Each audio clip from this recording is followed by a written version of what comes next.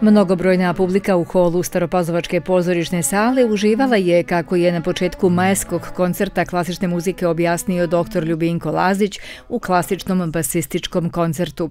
Nastupili su kontrabasista Aleksandar Višić iz Sremskih Karlovaca i pijanistkinja Nina Botić iz Šapca, koja je završila Akademiju umetnosti u Novom Sadu, osvajala mnoge nagrade na takmičenjima, a također je uspešna i kao pedagog muzika je nešto što je prirodno i što je deci blisko svakako, samo možda treba naći put e, kako dobreti do njih. Relativno kasno počela da sviram klavir sa 9 godina, ali od kad sam krenula, ovaj, to je nešto što me vuče i dan danas, eto, kroz pedagogiju, ali i kroz svaki ovaj, projekat i kada imam neku priliku da sviram sa ovaj, raznim umetnicima, evo i sad sa ovim mladim kontrabasistom, ne odbijam takve ovaj, takve izazove i takve prilike. 19-godišnji Aleksandar Višić završava dve srednje muzičke škole, Isidor Bajić u Novom Sadu, odsek kontrabas i Josip Marinković u Zrenjaninu, odsek tambura.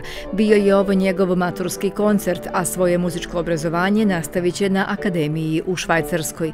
Kaže da je kontrabas prevagnuo kod njega. Odlučilo je to što sam e, upoznao svog profesora Ljubinka Lazića i on mi je pokazao stvari kako kontrabas može da zvuči lepo. I kad sam čuo, ja sam se zaljubio u kontrabas i morao sam da ga sviram. I sad ga sviram najviše i svaki dan ga sviram po nekoliko sati. Jako mi se sviđa ton tehnike i stalno učim nešto novo i nastavit ću ga sviram za uvek.